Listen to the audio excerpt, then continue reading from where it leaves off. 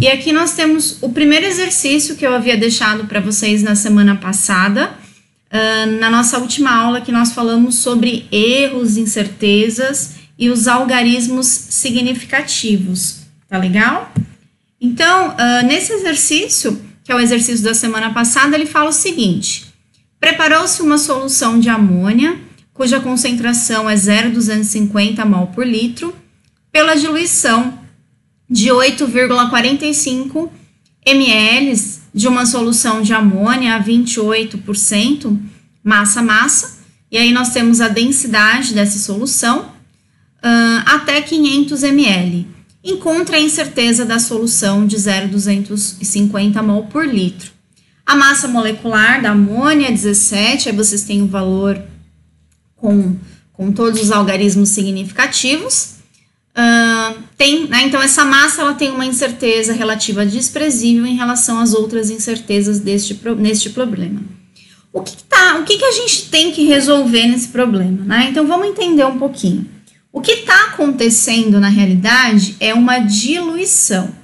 Então, nós temos uma solução de amônia, cuja concentração é 28. Deixa eu só colocar aqui para vocês um, um laserzinho aqui, que eu acho que fica mais fácil para a gente estar tá visualizando aqui. Isso. Então, aqui nós temos uma solução cuja concentração é 28%. O que, que é esse MM, né? M barra M? Concentração massa, massa, ou seja, nós temos 28 gramas de amônia a cada 100 gramas da solução. Então, sempre que nós temos uh, uma concentração em porcentagem, é importante, responder, é importante que você indique qual a unidade. Se é mol, se é massa-volume, nesse caso é massa-massa, tudo bem? Então, nós temos uma solução de amônia, que a concentração é de 28% massa-massa, e 8,45 ml dessa solução foi transferido para um balão de 500 ml em seguida foi completado com água até atingir o menisco do balão, tudo bem? E aí foi produzida uma solução cuja concentração é 0,250 mol por litro. O nosso objetivo não é necessariamente descobrir a concentração da solução diluída, porque nós já temos, apesar de estar em outra unidade, eu tenho uma solução 28%, eu diluí essa solução para 0,250 mol por litro. Então, eu tenho uma solução cuja concentração está em porcentagem, massa massa, e produzi uma nova solução cuja concentração está em mol por litro. O nosso objetivo aqui é determinar as incertezas. O que, que é incerteza? O erro atribuído a essa solução. Então, existe um erro, como toda medida experimental, ok? Existe um erro relacionado e o nosso objetivo é determinar qual é esse erro. Então, se vocês observarem os dados aqui, nós temos, né, só para nós entendermos, nós temos uma solução de amônia diluída, cuja concentração é 0,250 mol por litro, e ela foi preparada pela diluição de 8,45 ml de uma outra solução. Quando essa solução foi preparada, foi utilizada uma pipeta para coletar esse 8,45 ml. Então, aqui a gente tem o erro esse 0,04 ml é o erro atribuído a essa vidraria que foi utilizada para medir esse volume, tá bom? E aí nós temos também a densidade da solução mais concentrada e o erro dessa densidade. Então, ela tem um erro de 0,03 gramas por ml. E nós também temos o erro do balão. Então, quanto que é o erro do balão? 0,2 ml.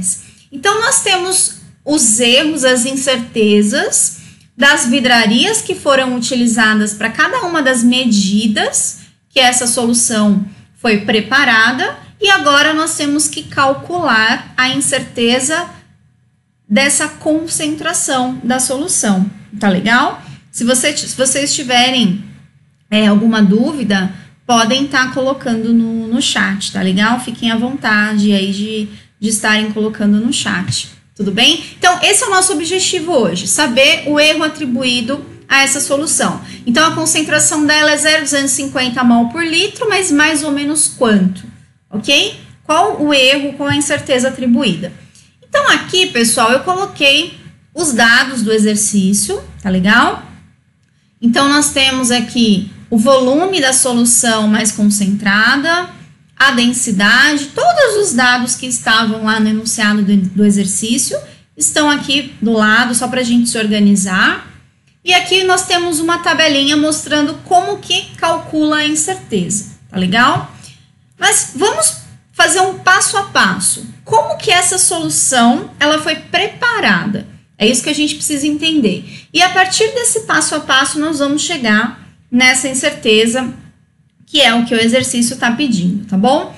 O primeiro passo que nós vamos fazer, nós temos uma solução de amônia concentrada, né? A solução de maior concentração. Nessa solução foi retirado 8,45 ml. O que, que eu quero saber aqui na realidade? Qual é a massa de amônia por ml desse reagente concentrado? Quanto tem de amônia tá bom? Quanto tem de NH3 nesse por ml desse reagente concentrado, tá bom? Então, o que, que nós sabemos? Essa solução, ela tem uma concentração de 28% de amônia, tá, ok? Massa, massa. O que, que isso significa? Que se eu utilizar 100 gramas dessa solução, quanto que eu vou ter de amônia? 28 gramas de amônia, tá bom? Então, para cada 100 gramas da solução, nós temos 28 gramas de amônia presente, tá legal? Se nós observarmos aqui, nós temos a densidade dessa solução. Quanto é a densidade? A densidade é 0,899 gramas por ml. Mas o que é a densidade? A densidade é a relação massa-volume da solução. Então, nessa massa que nós temos aqui da densidade, esse, esse 0,899 é a massa da solução. Se é a massa da solução, é a massa da somatória água-amônia, tudo bem? Então, não quer dizer que eu tenho 0,99 gramas de amônia para 1 ml. Eu tenho 0,899 gramas de solução. E a solução é a mistura água-amônia, tá bom? Então, o que, que significa? Qual que é o meu objetivo aqui? Eu quero saber quantos gramas de amônia eu tenho por ml da solução. Por que, que eu estou fazendo... Por que, que eu comecei né, desse passo? Por que, que eu estou fazendo essa conta? Porque se vocês observarem, a nossa solução final diluída, ela está em mol por litro. Então, o meu objetivo é deixar as unidades, em primeiro momento, tudo certinho. Então, aqui está massa-massa, em porcentagem massa-massa, e a solução diluída em mol por litro. Então, a gente precisa acertar essas unidades, tá bom? Então, vamos fazer um passo a passo. A primeira coisa é, quanto tem de amônia por ml da solução, tá bom? Esse é o nosso primeiro, essa é a nossa primeira continha aqui. Então, se a densidade é 0,899, então a densidade está me referindo à massa da solução, da mistura. Então, se eu tenho 28 gramas em 100 gramas de solução, Quanto que eu vou ter de amônia nessa massa aqui, 0,899? A quantidade de amônia presente nessa massa é a quantidade de amônia presente em 1 ml, porque esse é o valor correspondente à densidade. Então, a densidade está dizendo o quê? Que a cada 1 ml da solução, eu tenho 0,899 gramas. Então, se eu souber quanto de amônia existe nessa massa, eu sei quanto de amônia tem em 1 ml da solução, tá bom? Então, aqui, resolvendo essa regrinha de 3, uh, nós encontramos esse valor. Eu coloquei o valor na íntegra, ele ainda não está arredondado, não está com os números de algarismos significativos uh, corretamente, vocês já vão entender por quê, tá legal? O que, que a gente precisa resolver? Essa é massa de amônia que eu tenho em 1 ml. Mas eu, eu preciso entender qual é a incerteza, qual é o erro atribuído a essa massa. E como que eu calculo a incerteza? Que conta que eu fiz aqui, pessoal, na realidade? Para resolver uma regra de três, nós fizemos multiplicações e divisões. Então, se vocês olharem aqui na tabela, quando eu calculo a incerteza envolvida em cálculos né, de multiplicação e divisão, que seriam as duas últimas linhas, a incerteza vai ser a raiz quadrada das incertezas individuais em porcentagem ao quadrado, né? A somatória de cada uma das incertezas individuais dos valores ao quadrado. Então, vamos entender um pouquinho melhor o que é isso. Eu tenho uma solução concentrada de amônia. Essa solução concentrada de amônia, ela tem uma incerteza de 5%. Tirando aqui a porcentagem, isso equivale a 0,05. Então, eu tenho uma solução de 28, ok? Que, que, que, dados que eu trabalhei aqui? Eu trabalhei a concentração da solução concentrada, que é 28%, tudo bem?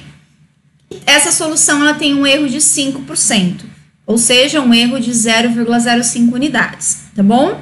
E eu usei a densidade para fazer esse cálculo. A densidade, ela tem uma incerteza de 0,003 gramas por ml. Então, aqui estão as incertezas da solução concentrada e da densidade, que foram os valores numéricos que eu utilizei para calcular a massa de amônia, tá legal? Só que sempre que eu trabalho com incertezas em, em, operações matemáticas que envolvem multiplicação e divisão, eu tenho que trabalhar com as incertezas percentuais relativas e não com a incerteza absoluta. Esses valores que nós temos aqui são as incertezas absolutas. Como que eu calculo a incerteza relativa? Eu vou dividir esse valor, né, a incerteza absoluta, pelo valor da medida multiplicar por 100. Em outras palavras, para a solução concentrada, quanto é a incerteza da solução concentrada? 0,05. E qual é o valor da medida? O valor da medida é 28, tudo bem? Então, 0,05 dividido por 28 vezes 100, nós vamos ter uma incerteza percentual relativa de 0,179, tudo bem? Por cento. E aí, nós vamos fazer a mesma coisa para o nosso segundo valor, que é a densidade. Qual é a incerteza da densidade? 0,003. E qual é o valor da densidade? 0,899. Ok? Então, vou dividir a incerteza pelo valor vezes 100, nós vamos encontrar 0,334%. Então, eu converti as incertezas relativas em incertezas percentuais. E qual vai ser a incerteza desse valor final aqui que nós obtivemos? Vai ser a raiz quadrada das somatórias dessas incertezas individuais. Então, 0,179 ao quadrado, ok? Mais 0,334 ao quadrado. E aí, nós vamos encontrar um valor de 1,82%, ok? O que, que significa, pessoal? Significa que a concentração, a quantidade de amônia, melhor dizendo, né? Por ml da solução concentrada vai ser quanto? Então, Observem aqui agora. Esse valor aqui é o valor que eu encontrei, valor puro, sem estar com os algarismos significativos aqui de forma correta, tá bom? Então, esse valor aqui, nós temos a massa de amônia por ml. Agora, vamos, vamos analisar. Quantos algarismos significativos tem os valores que eu utilizei? O que, que eu utilizei? Eu utilizei a solução concentrada, que tem três algarismos significativos, né, 28,0, e eu utilizei a densidade, que também tem três algarismos significativos. Portanto, a minha resposta, ela precisa ter três algarismos significativos, ok? Por isso, foi arredondado para 0,252. Terminou em 7, eu aumento mais uma unidade aqui. 0,252 gramas por ml, mais ou menos 1,82%, ok? Então, aqui nós temos o valor íntegro da massa de amônia por ml e a incerteza atribuída. Então, esse foi o primeiro passo. Nós calculamos a massa de amônia, ok? Por ml e a incerteza envolvida. É isso que esse valor ele está se referindo, tá legal? Agora vamos para o segundo passo. O que, que eu vou calcular agora? A massa de amônia, eu estou fazendo bem detalhado, tá, pessoal? A massa de amônia no volume da diluição. Quanto que foi utilizado para diluir? 8,45 ml. Tudo bem? Então, O valor que nós encontramos lá significa o quê? Que em 1 ml nós temos 0,252 gramas de amônia. Quantos ml foi utilizada para diluição? 8,45. Então, aqui novamente eu coloquei o valor na íntegra lá, obtido na calculadora, não está arredondado ainda, tá bom? Então, essa é a massa de amônia presente nos 8,45 ml.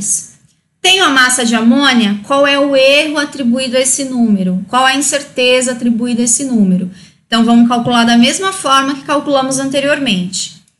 Que, que, que valores que eu utilizei aqui? Eu utilizei a, solução concentrada, né, na realidade, a incerteza da solução concentrada que nós calculamos anteriormente, então 1,82%, ok? Que é o resultado do slide anterior. E nesse volume aqui de 845 ml, ele foi coletado com uma pipeta. Então, se vocês olharem no enunciado, nós temos 8,45 ml, mais ou menos 0,04 ml. Então, esse 0,04 é a incerteza da pipeta utilizada para a remoção desse volume. Então, é o erro envolvido, tá bom? Bom, a incerteza da solução concentrada, né, em relação a essa massa que nós calculamos, nós já temos em porcentagem, que é o resultado obtido anteriormente. Agora nós vamos ter que converter para porcentagem a incerteza da pipeta, tá bom? Então nós vamos dividir 0,04 pela medida. Quanto, quanto, qual é a medida? 8,45 ml. Tudo isso vezes 100, nós vamos ter uma incerteza de 0,473%. Aí aplicando nessa equação, então a incerteza vai ser a raiz quadrada, né? 1,82 ao quadrado, que é uma das incertezas, mais 0,773 ao quadrado, ou seja, cada uma das incertezas ao quadrado, a raiz quadrada é disso, tá bom? Isso equivale a 1,88%. Então, esse é o valor da incerteza atribuída a quê? Atribuída à massa de amônia presente em 8,45 ml da solução, ok? Então, nós temos, quanto que nós temos? Aqui novamente, vou voltar aqui nesse valor que eu, que eu havia encontrado. Eu fiz uma multiplicação de um número com três algarismos significativos com outro com três algarismos significativos. Portanto, eu preciso arredondar a minha resposta para três algarismos significativos. Então, a minha resposta ela vai ser 2,13. Terminou em 9, arredondo para mais um. 2,13 mais ou menos 1,88%. Tá bom? Então, esse é o erro envolvido. A gente está indo bem devagarzinho.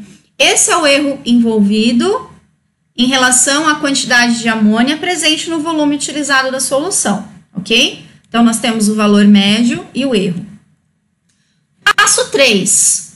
Nós a nossa solução final não está em mol por litro, então eu estou fazendo tudo isso para chegar num valor em mol aqui também em relação a essa solução concentrada, tá legal? Então, quantos mols de amônia tem nesse volume? Tá? Esse é o primeiro ponto. Quantos mols de amônia tem nesse volume? Bom, um mol de amônia tem 7,0306 gramas. Isso está no enunciado, a massa molar da amônia. Quanto tem em 2,13, porque 2,13 é a massa de amônia que calculamos anteriormente, que é a massa de amônia presente em 8,45 ml. Então, nós estamos convertendo isso para mol. Fazendo essa continha, nós vamos encontrar esse valor aqui em mols de amônia, tá bom? Novamente, o valor não arredondei ainda, tá? O que, que nós precisamos agora? Determinar a incerteza. Quanto é a incerteza da massa de amônia presente em 8,45 ml? 1,88, é o que nós calculamos anteriormente, tá legal? Quanto que é a incerteza da massa molar? No enunciado estava dizendo que que a incerteza da massa molar, ela era desprezível. Se ela era desprezível, significa que a incerteza é zero. Então, como que eu calculo isso? 1,88, a raiz quadrada de 1,88 ao quadrado mais zero ao quadrado, tá? Resolvendo essa continha, nós vamos encontrar o valor de 1,88%. Então, isso significa, agora vamos arredondar corretamente. Quanto que tem que ter a minha resposta? Eu fiz uma regra de 3, a operação matemática é multiplicação e divisão. Portanto, eu vou manter, ó, eu tenho um número agora com 1, 2, 3, 4, 5, 6 algarismos significativos. E um outro número, que é o 2,13, com 3 algarismos significativos. Portanto, a minha resposta, ela precisa ser arredondada e eu vou manter o número de algarismos significativos correspondente ao menor desses números em relação à quantidade de algarismos significativos, ou seja, um número tem seis algarismos significativos, o outro tem três. A minha resposta vai ter três. Eu vou, manter, vou manter a quantidade de algarismos significativos que existe em menor quantidade em relação a esses dois números, ok? Então, a minha resposta tem três algarismos significativos, por isso, tá? Então, arredondando corretamente, 0,125, né? Termina em zero, então mantenho. 0,125 mols mais ou menos 1,8%. Tá legal? Então, chegamos aqui na quantidade de mols de amônia que foi transferida para o balão. Então, nós utilizamos, só retomando, nós retiramos 8,45 ml de uma solução concentrada e transferimos para um balão e completamos até 500 ml. Nesses 8,45 ml, quantos mols de amônia estão presentes? 0,125 mols ok? E esse é o erro atribuído. Agora, se eu tenho número de mols, eu posso calcular a concentração. Qual vai ser a concentração da solução diluída? Concentração, número de mols dividido pelo volume em litros, né? Então, quantos mols que nós temos? 0,125, acabamos de calcular. Qual é o volume? Então, no exercício dizia que foi completado com água até 500 ml. Então, aqui eu converti esses 500 ml para litro. Olha que interessante, pessoal. Os 500 ml que o exercício me deu no enunciado é 500,0. Portanto, o número tem quatro algarismos significativos. Eu mudei de unidade. Eu mudei para litros. 500 ml corresponde a meio litro. E agora, esse valor em litro, eu vou manter a quantidade de algarismos significativos. Então, se aqui tem 4, eu vou escrever 0,5000. Eu vou representar o volume aqui também com quatro algarismos significativos, mesmo que a unidade seja outra. Então, lembrem-se sempre da importância dos algarismos significativos. Então, 0,125 dividido por 0,500 vai dar 0,250. Aqui eu já representei, já arredondei com a quantidade de algarismos significativos corretamente. Por que, que eu escrevi 0,250 e não 0,25? Matematicamente é a mesma coisa, mas quando fazemos medidas, não é a mesma coisa, tudo bem? Porque nós representamos todos os algarismos que são considerados corretos até o primeiro incerto. Essa, essa é a lógica quando nós fazemos uma medição. Toda medição tem erro. Então, esse valor ele foi obtido por meio de medidas, portanto, ele tem um erro tá bom? E por que, que eu coloquei 0,250? Porque eu fiz uma divisão de um número que tem três algarismos significativos, 0,125 tem três algarismos significativos. Os zeros à, à esquerda não são algarismos significativos, tá bom?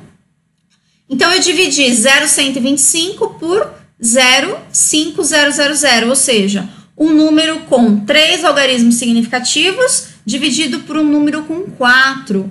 Então, Quanto vai ter a minha resposta? Vai ter um número de algarismos significativos menor em relação aos dois números. Então, qual é o menor número de algarismos significativos? Um tem 3, o outro tem 4, a minha resposta vai ter 3. 3 é o menor, ok? Então, por isso, 0,250 e não 0,25 e nem 0, né, 2.500, por exemplo. O correto é 0,250, tá bom?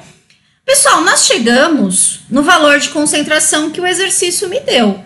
E aí vocês devem estar perguntando, mas por que você calculou a concentração se o enunciado deu a concentração? Isso prova que nós estamos no caminho correto, nós chegamos no valor de concentração correta. Mas o que, que o exercício estava perguntando? A incerteza, o erro envolvido nesse valor. O que, que isso significa? como que eu calculo a incerteza agora? Agora sim a gente consegue calcular a incerteza. Por quê? Como que eu cheguei nesse valor? Eu cheguei nesse valor dividindo o número de mols pelo volume. Então eu preciso da incerteza em mol e da incerteza em volume para chegar na incerteza desse valor, ok? Quanto que é a incerteza em relação ao número de mols calculado? 1,88, calculamos no slide anterior, tá bom? E quanto que é a incerteza, se vocês observarem aqui, quanto que é a incerteza atribuída ao balão volumétrico? Então, no exercício dizia o quê? Que a solução ela foi avolumada até 500 ml e tinha um erro de 0,02 ml, tá bom? Aqui eu converti para litros, pessoal, por quê? Porque eu converti o volume em litros também, tá bom? Então, eu transformei o erro aqui em litros, só mudei a unidade, dividi por mil. Então, nós já temos a incerteza do número de mols em porcentagem, agora nós vamos transformar a incerteza do balão volumétrico em porcentagem. Então, eu vou dividir a incerteza absoluta pelo valor da medida, quanto que é a medida? Meio litro, vezes 100. Então, nós vamos ter uma incerteza de 0,004%, tá bom? E aí, calculando aqui, então, qual vai ser a incerteza da solução? A incerteza da solução vai ser a incerteza do número de mols ao quadrado mais a incerteza do balão ao quadrado, ok? E a raiz quadrada dessa somatória. Então, nós vamos ter aqui o valor aproximado aí de 1,88 novamente por cento, tá bom? Uh, essa incerteza, ela é uma incerteza relativa, ou seja, ela está em porcentagem, tá bom? Então, nós temos a solução, ela é de 0,250 mol por litro, mais ou menos 1,88%. Mas nós podemos colocar essa incerteza como incerteza absoluta, ou seja, tirar da porcentagem. Como que eu calculo a incerteza relativa? A incerteza absoluta pelo valor da medida vezes 100. Então, nós já temos aqui, ó, 1,88 é a incerteza relativa, a incerteza absoluta eu não sei, o valor da medida é 0,250, tudo isso vezes 100. Fazendo essa continha, nós vamos ter um erro de 0,05 mol por litro, ok? O que isso significa, pessoal? A gente, nós podemos representar a nossa resposta tanto na forma de incerteza relativa como absoluta. Então, eu posso, se eu quiser utilizar a incerteza relativa, eu posso dizer que essa solução, ela é uma solução de 0,250 mol por litro, mais ou menos 1,88% de erro, tá bom? Ou eu posso dizer que essa solução, ela tem uma concentração de 0,250 mais ou menos 0,5 mol por litro. O que, que isso significa? Isso significa que eu tenho um valor médio de 0,250, mas essa solução ela pode ter qualquer valor, vamos dizer, que vá de 0,245 até 0,255, ok? Eu tenho essa a faixa de erros que varia de 0,245 a 0,255. 255, ou seja, 0,250 mais ou menos 0,05. Pessoal, retomando tudo que, eu, tudo que nós conversamos agora, tá bom? Toda vez que nós temos uma medida, tá legal? Uh, nós precisamos trabalhar com os algarismos significativos. Os algarismos significativos, na realidade, eles estão representando eles estão nos dando uma ideia do erro envolvido. Toda medida tem um erro. Então, uma pesagem, uma medida de volume, tudo isso tem erro envolvido. E quantos algarismos eu devo representar esse número? Todos os algarismos corretos até o último, onde nós temos né, uma incerteza. Então, por exemplo, se eu tenho uma, uma medida de massa numa balança, minha balança ela tem, por exemplo, três casas após a vírgula. Aonde está o erro? Na última casa. Então, essa última casa, esse último algarismo é o que está me representando o erro da medida. Então, por isso é importante nós conservarmos os algarismos significativos, ok? Na aula anterior, nós falamos com bastante detalhes o que, que é algarismo significativo, o que, que ele representa e as operações envolvidas e regras de arredondamento. Então, se vocês ficaram com dificuldades nessa questão dos arredondamentos, o porquê que eu mantive essa quantidade de algarismos significativos, dei uma retomem aí na nossa live da semana passada que está explicando tudo isso, tá bom? Então, o que, que é, o que, que é importante? Sempre que nós vamos reportar uma resposta, nós temos que manter essa resposta considerando a regra dos algarismos significativos. Então, esse 0,250 está me dizendo o quê?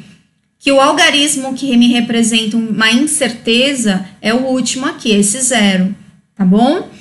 Agora, a, a incerteza, pessoal, o que, que é incerteza? É o erro. De quanto é o erro? 0,005. A incerteza e o erro, ele tem que ter o mesmo número de casas decimais da minha medida. Então, se a minha medida tem três casas decimais, aí não é algarismo significativo. Casa decimal é uma coisa, algarismos significativos é outra, tá bom? A minha medida ela tem três casas decimais, então o meu erro também vai ter três casas decimais. A minha incerteza também vai ter três casas decimais. Por isso eu reportei 0,05 de erro, tá legal? E Aqui nós temos 0,250, que aí vem toda a questão né, da, dos cálculos envolvidos aqui, ok? Por isso o nosso número está reportado com três algarismos significativos. Então, isso é importante de vocês se atentarem, tá? Tanto a questão dos algarismos significativos, quanto a questão das incertezas, tá? O mais importante em relação a tudo isso é que vocês entendam o que esse número representa. Então, isso representa o quê? Que eu tenho uma solução que a concentração é 0,250 e ela está variando mais ou menos 0,05. Então, essa solução ela pode ter um valor que varia de 0,245 até 0,255. Tá legal?